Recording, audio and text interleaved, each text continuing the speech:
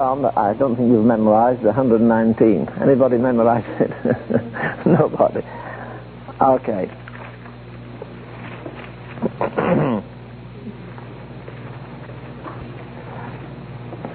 it's said that every other verse in this psalm uh, has something about the Word of God. Go back to verse 1. Blessed are the undefiled who walk in the law of the Lord. So that, that's one aspect of the Word, the law. The next verse has what? His testimonies. Verse 3, walk in his ways. Thou hast commanded us to keep thy precepts. Verse 5, thy statutes. Verse 6, thy commandments. Verse 7, thy righteous judgment. Verse 8, thy statutes. It makes a tremendous, tremendously interesting reading to go through. Again, to, to keep us kind of riveted down to the Word of God. But what I wanted to uh, remind you of here, that at least, um, I don't know how many, uh, six, eight times, the psalmist says, quicken me. Do you remember what, what does it say there in Hebrews? The word of God is what? What is it? You're right, don't worry, go on, say it. The word of God is quick and powerful and sharper than any two-edged sword. That's verse 12 of the uh, fourth chapter. Well, this is what the psalmist is saying here. Notice in, the, in uh, verse 25, My soul cleaveth unto the dust, quicken thou me according to thy word. Now notice what he says. In the first place, my soul cleaveth to the dust. Which again is an act of humility. It, he, he has no self-trust. He has a distrust in himself, which is always a healthy thing to have. Our confidence is not to be in ourselves. Our confidence is to be in God. I think people are in trouble when they start when they start teaching uh, things from the standpoint of experience. It's not a case of uh, uh, uh however much experience you have, it's not going to do me too much good. I've got to have it from God's Word. I've got to build. I've got to be established again on the Word of God. And here he says, My soul cleaveth, cleaveth to the dust. Quicken me according to thy word. Why? Because the word of God is quick and is powerful. Now, we, we think of quick as somebody running and say, why, he was quick the way he went. But it, it doesn't mean that actually. It means it's, it's, it's something that stabs me. It's something that awakens me. It's something that provokes me. The Word of God is quick. Well, it's quick in the sense again that if I've got it hid in my heart, God brings it very quickly to my remembrance. I don't have to wait and say, oh, I wish Gabriel would hurry up. They've got the computer wrong upstairs and uh, Uh, I wish that. No, no, no, no. Thy word have I hid in my heart and then immediately God touches it and it's quick and it comes to my defense or it comes to build me up. It comes to stimulate me. Or again, it's quick to, it's quick to correct me. Or again, it's quick to cast me down if I'm getting exalted. The Word of God is quick and powerful. Quicken thou me according to thy word. In verse 37 he says, Turn away mine eyes from beholding vanity and quicken thou me in the way.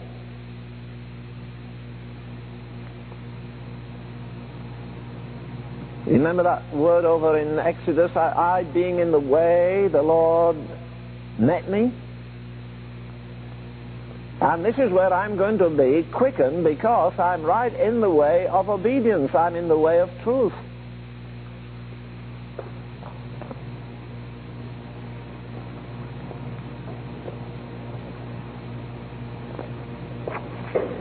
Verse 40 says, Behold, I have longed after thy precepts. Quicken me in thy righteousness.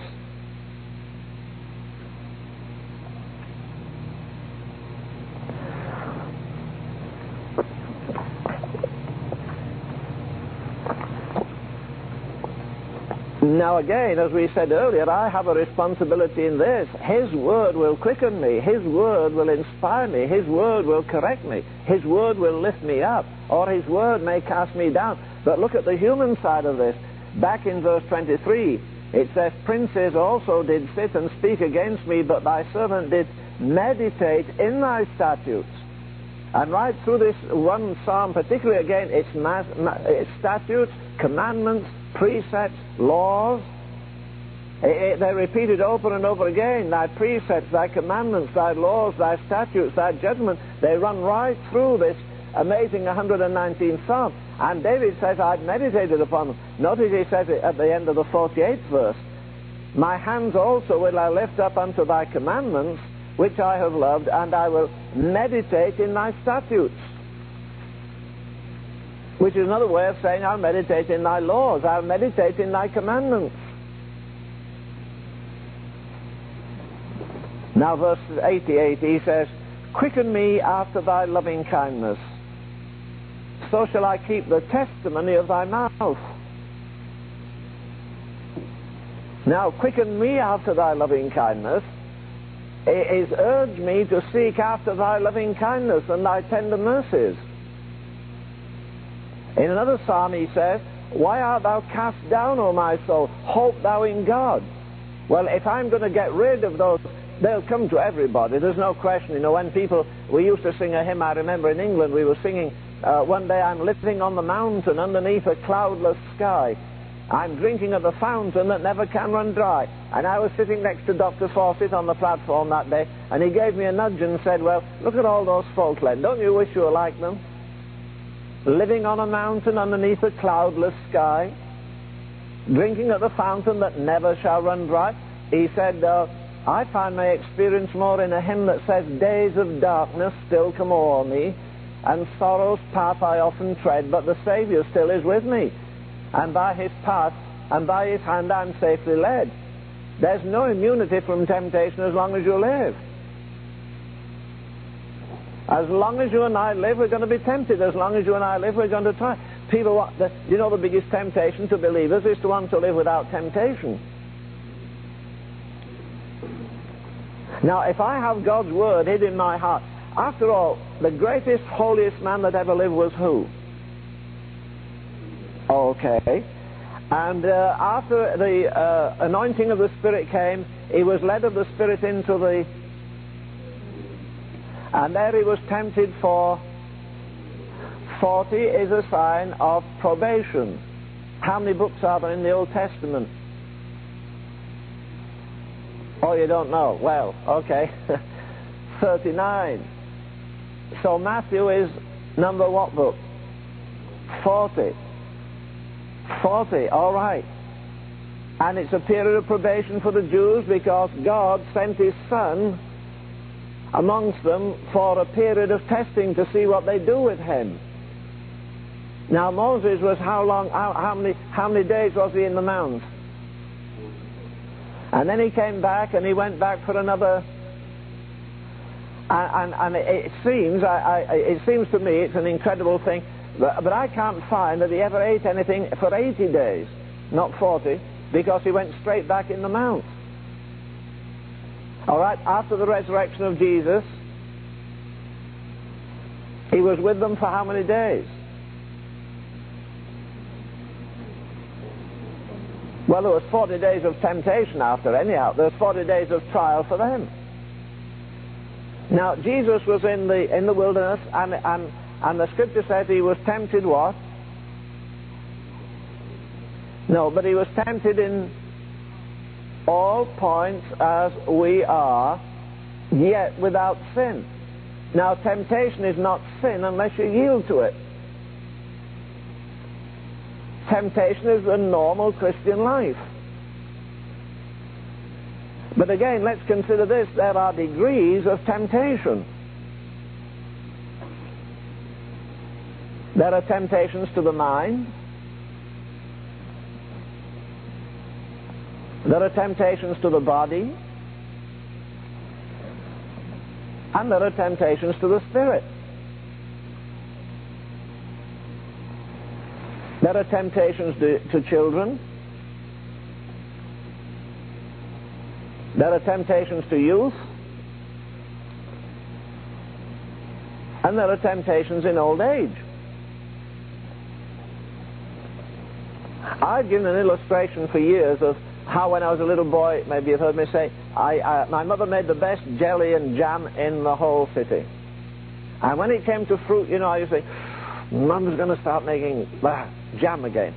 All I got was to lick the dish out, you know, when she'd cooked it, and I used to get a spoon and scrape it. Man, when I'd scrape that dish, a fly couldn't have got a mouthful off it.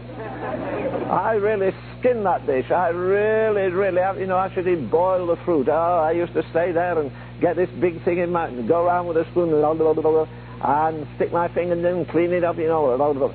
And then uh, she'd put it up in what we call a pantry, a, a, dark room, you know, and she'd leave it there and have it all labeled strawberry and raspberry and gooseberry and all bilberries and all the other jams and jellies she made.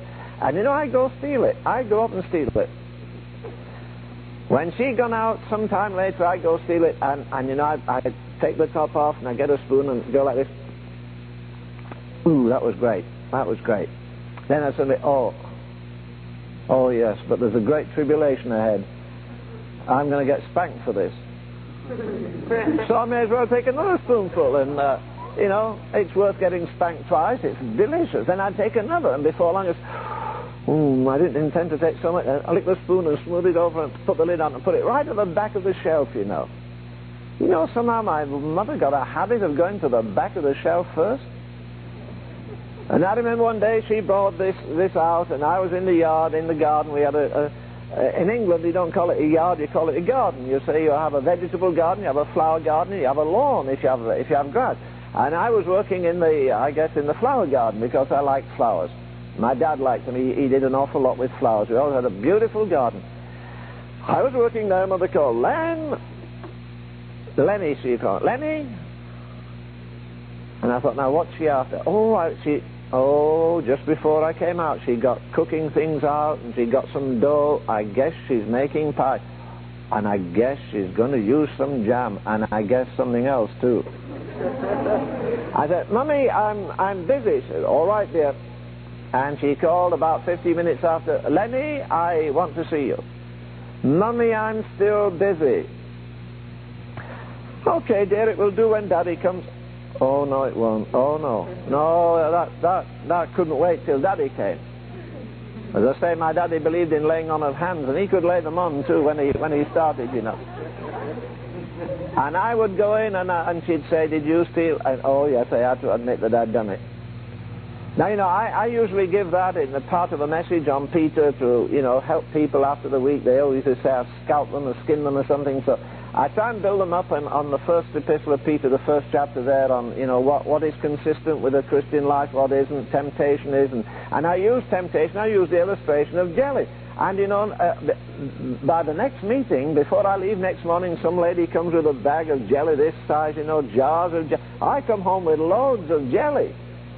So I'm, I'm trying to find a way to use the illustration on money and see if it works that way. but you know, when I, I, stayed in a home recently, a beautiful home. And you know, I, I was in real victory. I realized at the end of the week I hadn't stolen jelly once. You say, well, you've outgrown that kind of temptation. Well, that's what I'm saying. You see, you can outgrow certain temptations. And there are certain temptations you don't know till you come to a certain age. A, a child will steal jelly, he'll steal cookies. A man doesn't steal them, he snitches them. But uh, he doesn't steal them, but he, he, uh, he isn't worried about any consequences. He knows his wife made them. She says, well, darling, help yourself anytime you need one. He does it. A child is tempted on one level. A full-blooded young man is tempted in another area. Very often in the area of sex. This is a, this is a curse. If I didn't know the Bible said the number of a man in Revelation is 666, I'd think it was sex, sex, sex. Because we're a sex-mad age. It has never been as wild, it's never been as acceptable. Perversion, uncleanness, violation of God's laws in this area don't mean a thing in the way in our in our present lifestyle.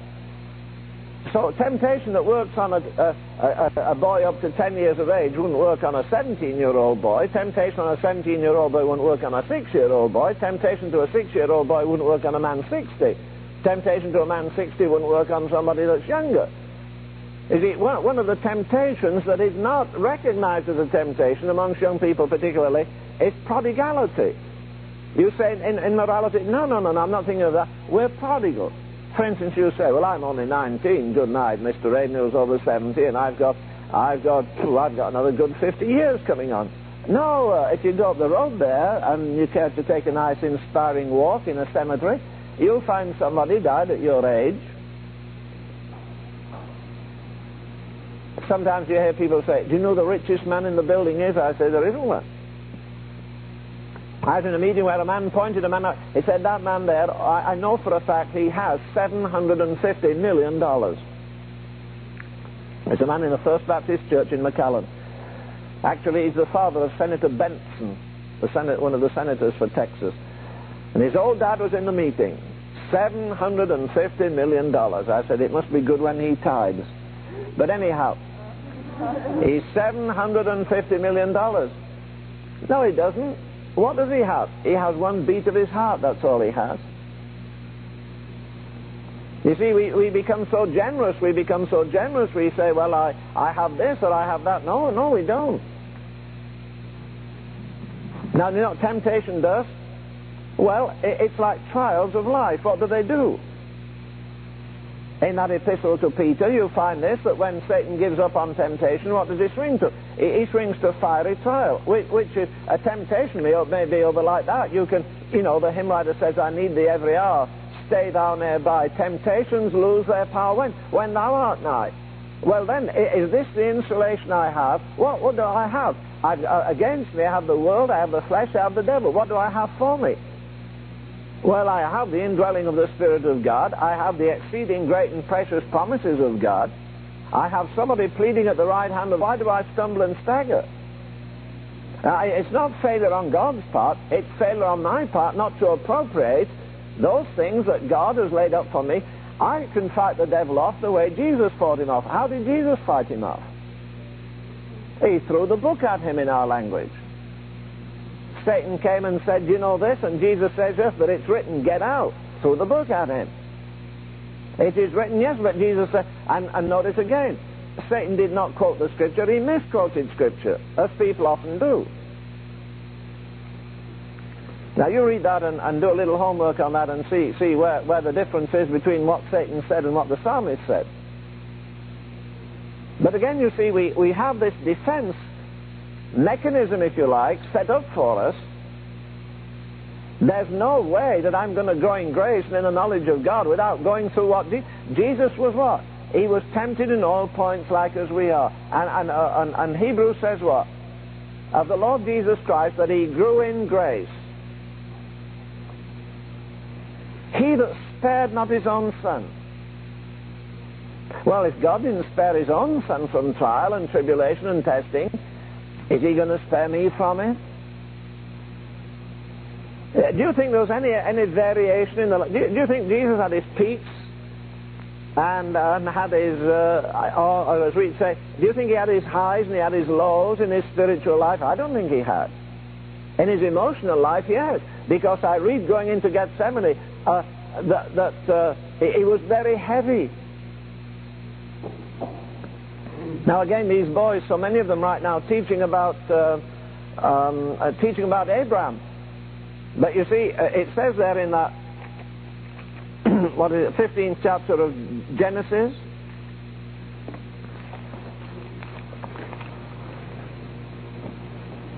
Yeah, it, it, that, where, where, after he makes the sacrifice, he took a heifer, verse uh, uh, from me, Genesis 15 and verse 9, he said unto him, Take me a heifer three years old, and a she-goat three years old, and a ram three years old, turtle dove, and a young pigeon.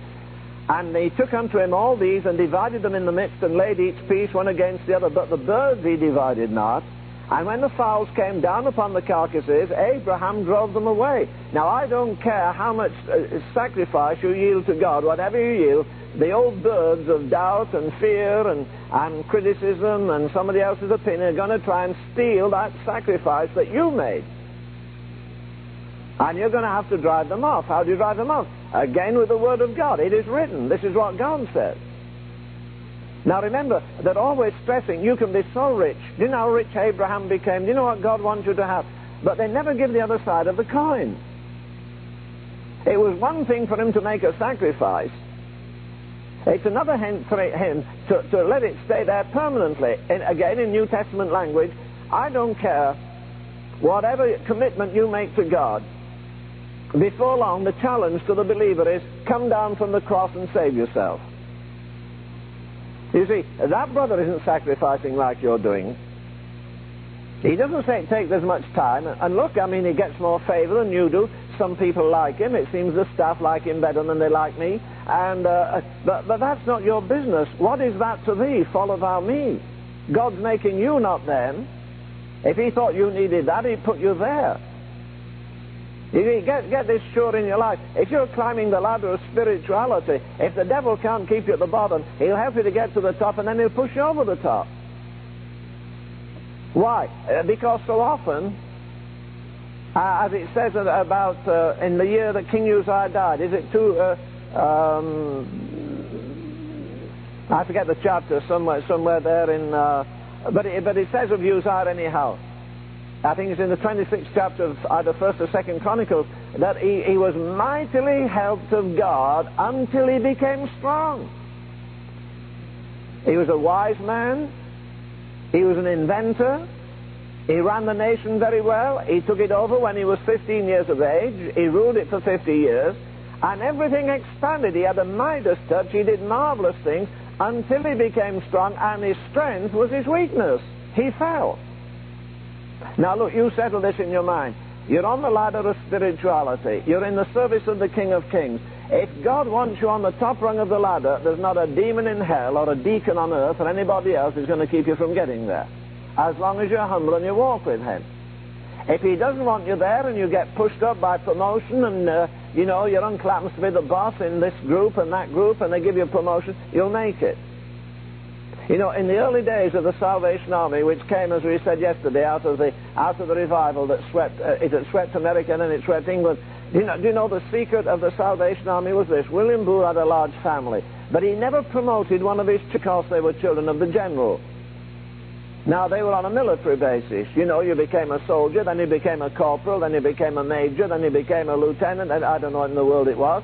And they had brigadier generals, and then they had finally the general himself. But he never gave any of his children's accolades or he never gave them promotion unless they earned it. With the result that when his children became very efficient and they were very brilliant, I've told you the mother used to put her head, hand round the head of each of them when they were in bed at night, and they were still babies and unconscious in sleep, and she used to pray the same prayer every night. She said, I'm not raising children for the devil, and while they were sleeping, she would pray this over them God bless you, darling sleep, the world is waiting for you. Every one of them became distinguished poets, writers, preachers, missionaries. But you see, when they got up and they got adequate to run the Salvation Army themselves, they didn't like to take orders from Daddy. And Daddy didn't promote them above other guys. Oh no, you you get seniority when it when I think you should have it. And so what happened? He lost his family. They broke up and went off here and went off there. That was William Booth. After him, I saw William Booth as a tiny little boy. And I saw the second general, Bramwell. Oh, he was all personality. He had a shock grey shock of, of white hair. Man, he was very imposing. But when his family was raised, he promoted them whether they deserved it or not. He gave them key positions, all in the salvation. After all, he's my son, she's my daughter, uh, just has a lovely personality to do this job. What happened? The first general would not promote them except they were adequate, and therefore he kept the Salvation Army intact. The second general promoted his family, and he kept his family, but he lost the army. They voted him out. You see, now that holds in the spiritual life. I'm quite sure of this, out of long experience and out of reading other people's lives, and after conversing with some of the greatest men in the world. Men that seemed, they, they weren't at the starting line in the race, brother. They were a hundred yards behind. And yet they overtook so many men who were far more brilliant. I did not, I went to a Bible college in England for about eight months. When I got there, I was totally embarrassed. I was disintegrated the first week I was there. Because I'd had no, I, I, I left school in the eighth grade. I hadn't been to high school. I had to take uh, some lessons in English, which I certainly didn't master. And uh, I had every disadvantage. Like the Irishman said, all my advantages were against me. I just didn't have a thing to go on. And you know, fellows would come out, we had an exam every Friday night, and the list was always put on the board. And you know, I was always in one important position, usually at the bottom, holding all the others up. And guys would come out, you know, with, uh, in England, you never get 100% marks. Nobody ever give you that, not in university. It isn't healthy. Nobody does it. If you, if you get in the 90s, you're a genius. I'd be around the 40s usually. These the guys with all that. But I determined one thing. After one day receiving a book called Bounds' Power Through Prayer, I made up my mind I'd go through that book. I didn't go through the book, it went through me. But I anchored onto that truth that what Bounds says it takes God 20 years to make a man. I said, all right, here I am, try it. And when other boys went to do things, now we did not have any basketball. Chadwick said, you've only one life. You don't have time to play games. there were no girls there. You get too interested in girls, they're distracting. Now, I don't think, I, I think if I had a school, I wouldn't be as rigid. I'd have basketball. I certainly wouldn't enter competition. I wouldn't waste hours running after other groups and going all over the place. I wouldn't do that. I'd do it for health's sake. All the, all the uh, recreation we had with a pair of rubber shoes and we put on shorts and a slim shirt and we ran a five mile run every Wednesday afternoon. You could go with a fast group or the slow group. And part of it you had to go through a river that was ice cold and nearly took your legs off. You didn't know if you had any legs by the time you got through. And that was the only exercise we had. See, Mr. Chadwick said, listen, gentlemen, you do this, this one thing I do. You don't have time for trivia. Now, this is again where discipline comes in. They do it, let them do it. Hey, we're going down shopping. Uh, oh, it's Christmas shopping. I don't have any money. Well, come with it. All right, I'll come and look at the windows. Why? Why? Now, now this seems nitty gritty. No, no, no. Perfection is made up of trifles. But perfection itself is no trifle.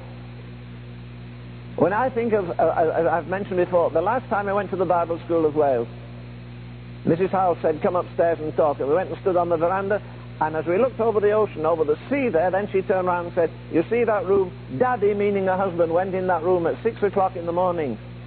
And he didn't come out till 6 o'clock at night, and he did that every day for 11 months, with the exception of the one day that his mother died. Now, do you know how many people, we talk about ability, and we need stickability. Could you stay 12 hours a day in a room for 11 months? What was he doing? He was building himself up in his faith. You don't fly, you don't leap from here to there in faith. You build yourself up in the Word of God. You get to the place where you're absolutely sure again that the secret is in Hebrews 11:6 that God is and that He is a rewarder of them that diligently seek Him. But God has to do some refining, refining some correcting. If I'm going to have perpetual fire in my life, God can do a lot of stirring. What does Paul say to Timothy? Stir up the gift of God that is in thee. Well, uh, th- there's another uh, meaning to that word there. It is actually, it's the same as saying keep yourself in revival. It doesn't say God will stir you up. It says you stir up yourself in your most holy faith. Or stir up the gift of God which is in thee by the laying on of my hands. Now again, I do not believe that my Christian, my love toward God needs to ebb and flow. I don't believe my faith in God needs to ebb and flow, but my emotions will change. David said on one occasion, My heart is fixed. Now, do you know that's about the only thing that is fixed? Sure, in a world like this, the world could blow up tomorrow. We're sitting on a powder keg. We don't know what in the world's going to happen uh, through this uh, Ayatollah Khomeini. We, we, we could have third, third World War, World War III on our hands before very long. We could have the first and the most awesome atomic war in history. We, we could have a Holocaust that would supersede all other Holocausts. We don't know what, but we know our heart, my heart is fixed, David said. His emotions weren't fixed. He had a son trying to pull a throne from underneath him and steal a crown off his head. His social life wasn't fixed. He didn't know where his enemies were. Everything else is fluid. But he says, My heart is fixed. But if my heart is fixed, God cleanses my heart through the blood. He corrects my head with a rod. And whom the Lord loveth, he chasteneth and scourgeth every son whom he receiveth. Now, now we don't. We, we, we, we say because we love our children, well, I won't spank you this time. Well, you don't love him, that's why. You'll have to love him, you'll have to spank him twice as hard up the road for the ones you miss now. Because ch- children don't understand love like that. There is correction with love. You don't beat the daylights out of him, but you correct him. And Proverbs again says if you correct him, you won't kill him. Now, God has promised so much to Abraham. Sure, he's going to have sand, children like the sands by the seashore. But when he's made his sacrifice, he has to beat the birds off. In a school like this or anywhere else, your eyes so very often turn sideways. What's she doing? What's he doing? Now, God's making you. He isn't making a gaffy. He is in one sense, but he isn't in another sense. He's making you. He's maturing you. He's bringing you to maturity. He's bringing you to the place where he can strengthen you. He's bringing you to the place where he, uh, he just takes Peter and James and John. Maybe out of this class, God's got three select persons that he's going to lead to eventually to leadership somewhere in the world that you don't dream of even now. I remember when I went to Bethany in 1950, I went first, and then we went to live there in 58 as a family, and I'd been many times in between. I remember one night a young man came out, I think in 1950, uh, 50, 50, it's either 50 or 51. And, and he came to the altar. He was a nice, clean-cut Lutheran. He had been saved through Ted Hegre's ministry. He came out that night wanting to be filled with the Holy Ghost. And as soon as he hit the bench there, he, he let out a roar that they said you could hear, you know, a mile away. Just a groaning in his spirit for God. Oh, God, he said, cleanse me and fill me with the Holy Ghost. And the joy of the Lord came on him. He's one of the best leaders they have in the world today. He's gone to a certain country and built a staff around him, and he's seen a measure of revival. I think of other kids that I looked at that didn't seem to have much potential. I remember when we went to Cliff College, Mr. Chadwick said, um, well, up to the first day, he said, uh, gentlemen, there were only men there, you know. Gentlemen, are you sure God called you? Are you sure? If you are, nod your heads. We all nodded our heads. He said, it's a good thing he did. He said, I never would have called one of you by the look of you. you know, that's a nice way to set off, isn't it? I mean, you know, all the confidence the school has in you kind of thing. But, but, but God is going to do his probing. He's going to do his correcting. And he says, you made your sacrifice. You'll have to fight the birds off. If God leaves you alone, the devil won't. And sometimes he uses the devil because you remember Jesus said, uh, Satan hath desired thee to who was it to? Peter again. Peter's going to be one of the outs. Peter is going to be the man that stands up at Pentecost. It wasn't John that stood up. It was Peter, the problem boy, that God has purged and empowered. It's Peter that ran away when a girl put a finger up. Well, Elijah did the same thing, so it's in the apostolic succession, but he put his finger up, she put her finger up, he ran. But then you find him in, in, in, uh, in Acts pointing his finger to the whole nation. He ran away from one woman. He stands up and he says, You crucify the Lord of glory. But look at his ups and his downs, and his ins and his outs, as it were. Peter talked to Jesus not only more than any other disciple, he, he, talked to Jesus more than all the disciples put together. And conversely, Jesus not only spoke to Peter more than any other individual, he spoke to Peter more than all the disciples put together. We don't like to see the weaknesses in him. And, and going down the road, Jesus said, when you get round the corner, Satan's going to try and ambush you. He's going to clobber you. But cheer up, I prayed for you. Well, how many people have said that to you and you thought, so, you know, you can't pray for yourself. What are you praying for me for, kind of thing? But Jesus didn't say, uh, Peter, I saw Satan down the road there, and I said, What are you doing here? He said, I'm waiting for Peter. I'm going to beat him up. And I said, uh, Satan, you go back to hell and leave my little boy Peter alone. I love him. And I'll take care of him. The Lord didn't say anything to Satan. He said to Peter, I've prayed for thee because what your faith needs, it needs a shaking, it needs a testing, it needs a purging, it needs a strengthening, and the only way you can get it is combat. It's one thing, you know, to put a lot of sketches on a board and put guys in combat uniform and then say, you know, when you meet the enemy, they don't all have blue eyes and they don't have uh, all have white faces, some are yellow and some are this. That, that doesn't do you a hill of beans good. Five minutes of combat and boy, you, uh, you know, you can't uh, say, mother, uh, you know. They, they, said when some of the troops, uh, American troops came to England, then got in combat, in Europe and got into some wretched uh, situations that at the end of the day some of them asked where the showers were. The officer said, where what? I, I need a shower and I need some uh, Old Spice or something. Showers? Boy, the only shower you'll get if the sky starts leaking. You may not get a bath for the next two months. What? I get a bath every day at home. Well, Mummy isn't here to bring you a nice warm towel. You're in military service now. Get down to it. You see. And there'll come a time when, uh, and this is the big test after all, isn't it? It's when God takes what I call a protective atmosphere from us. It's easy to make vows in a meeting when emotion, uh, emotion's running high, and somebody puts their arm around you and says, Praise God, I'm glad you did it. Oh, you've made this commitment. I love you. I'll be praying for you. And tomorrow morning they run into trouble and the next 10 days. In fact, if you met them 50 days after and say, how many times did you pray for me after your promise? Oh, I, I'm, I'm sorry, but you know, the next day I got news from home. My sister was sick, and the next day my dad had a, uh, somebody scraped his bumper on his car, and the next day my grandmother fell down pulling roses or something, and, and you had so many problems you never thought about Mary Ann. You see, God takes that supporting atmosphere. You, you need it so long, then He takes it out, and it becomes a walk of faith. Then the temptation comes, come down from the cross and save yourself. All right, stay, and let's stay in the context of this 15th of Genesis.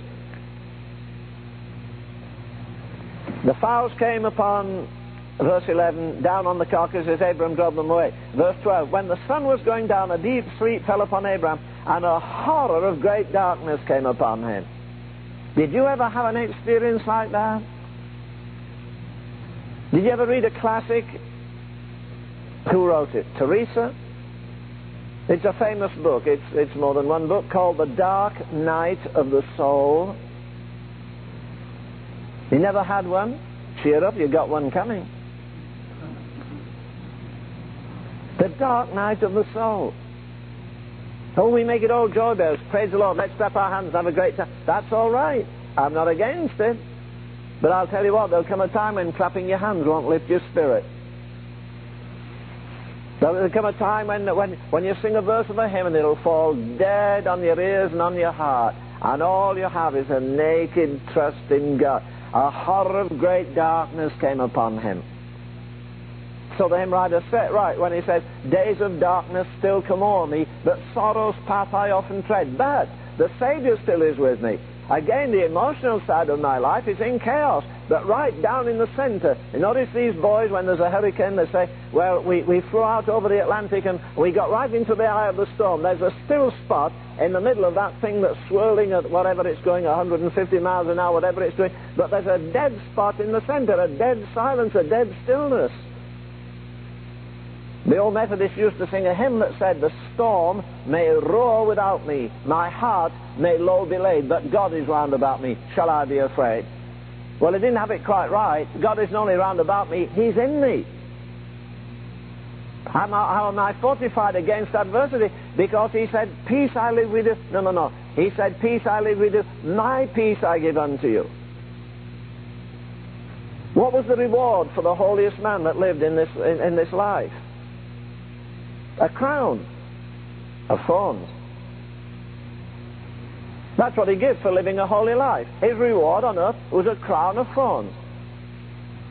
His reward on earth was desertion by some of his closest friends. And that'll be the toughest thing in your life.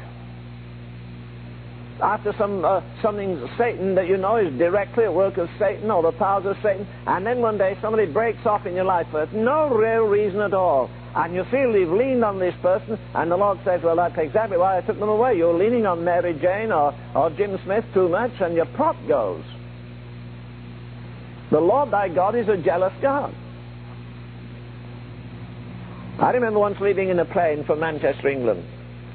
I wasn't particularly fond of going to Ireland because the plane was terribly slow. It, uh, you know, with rubber bands or something. It, it just sort of, you know, sit in the plane. It, it, was only about 50 miles, and it took about an hour to go. And oh, it was a dreadful thing. And over the Irish Channel, it's always rough and dark.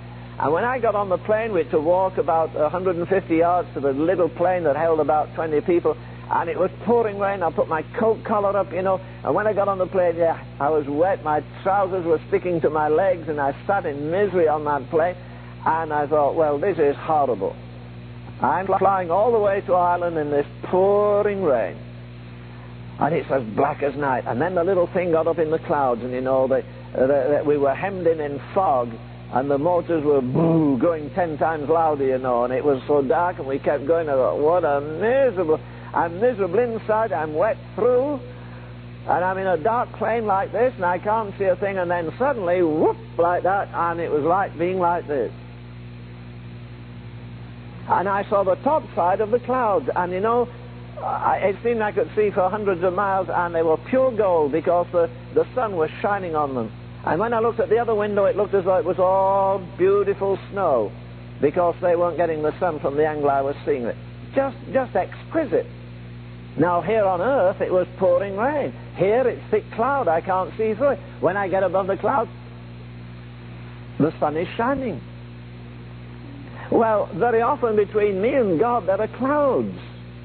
Days of darkness still come o'er me, or over me, and sorrow's path I often tread. But the Savior still is with me. Faith that is going to be trusted is going to be tested. You say, I've been having some tests. Well, cheer up, you'll get some bigger tests before long. Why? Because God has a bigger task further up the road. And if you haven't developed, as it were, the muscles of your heart, you won't be able to take the pressures when you get further up the road. Just by the same token, if you won't be led by somebody, you'll never make a leader. You may kick sometimes about something you're asked to do, but wait a minute, a bit further up the road, you'll be giving commands to somebody, and they don't want to do it either. Again, one of my old cliches a man with an experience is never at the mercy of a man with an argument.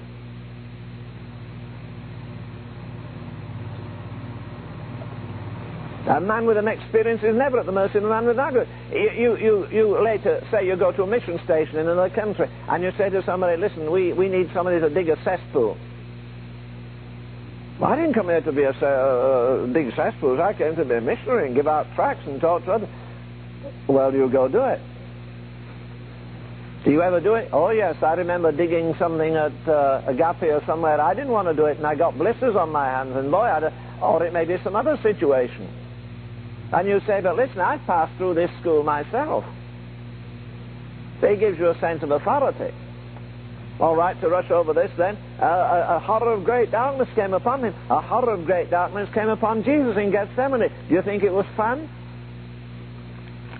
He took with him the same three men. Why did he give them that glorious revelation on, on, on the mount? It was Peter and James and John that had it, and it should have fortified them when they got into the black hole of Gethsemane, but it didn't somehow. Now, don't you get too worried that people don't hear what you say, and uh, when you get to teach a class or become a leader of a group, that they don't all go on quickly, because by, by uh, long shot, the disciples didn't do that. As I've said often enough, they said, Lord, teach us to pray, and when he took them on the Mount of Transfiguration to pray, they all fell asleep. Uh, and then he let them off that time and he took the same three men to Gethsemane and would you believe it? What did they do? And he came back a second time and they were and he came back a third time and they were I can't imagine that's real. I get all kinds of people asking, can I come and spend a day in prayer with you? Can I do this? I'd love to pray with you. Well, sometimes they come, sometimes they don't. If everybody came, I'd never get off my knees. But I know certain men, very, very few, that I'd like to spend a day in prayer with. I know guys I like to talk to. There are not many men I'd like to spend a day in prayer with. But they were permitted to pray with the greatest man of prayer that ever lived. And he prayed all night. Was that the reason they fell asleep? They weren't used to, they'd no stamina, they weren't used to praying more than an hour or half an hour. And, and when he prayed on and prayed on and prayed on, it was too much for them. Wouldn't you, wouldn't you have thought that they would have learned that lesson there in the, uh, on the Mount of Transfiguration? And yet, when they had a chance to stay with him in his most critical hour, they fell asleep. Or do you think God may be as grieved with the church today that we spend so little time in prayer? I'm convinced we've come into a form today of Christian humanism. That's all it is. We'll do it, you bless it, Lord. You've got to bless our TV program, you've got to bless our tracts we give out, or our records or something. Who says he has? We want to do in the energy of the flesh, we sanctify the flesh to a great degree. We, we put personalities up just like the world does. A little big rock, rock concert recently up on the northeast coast. Various groups were there to sing. One of the star guys comes up. He demands $13,000 a night. Well, if I get 12000 for teaching here this week, it would be unusual. but uh, he gets 13000 for one night. And they don't pray. They just stand up and sing and pull faces. If it's singing, I don't know if it is. You make a noise with the guitar anyhow.